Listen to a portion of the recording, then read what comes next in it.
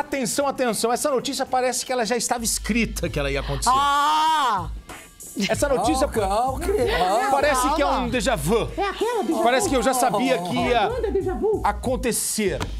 Cláudia Leite está planejando ter mais um filho. Ô, ô Fabiola, ela disse que já tá tentando. Ah, falou que tá em treinamento. ah. Tá em treinamento. Ela já tem um menino de 5, outro de 9. Aqui, aqui, aqui. Fecha no placar. Olha lá, o placar. Olha lá. Judite Venenosa. A Ivete Sangalo tá na frente. Vai, vai. Tá 3 a 2 Já tá 3 a 2 E foi de virada, né? Foi, foi. Foi de virada. porque ela, a Ivete foi lá, teve dois, né, de uma vez. Isso. Duas gêmeas. Agora a Claudinha não pode ficar por baixo, né? Brincadeira. É Bavi, é Bavi. É tipo Bavi, Bahia e Vitória. Mas é aí, ó.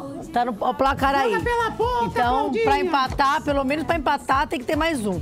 Diz que tá em treinamento aí. Hum. E é, ainda falou que ainda não tem data.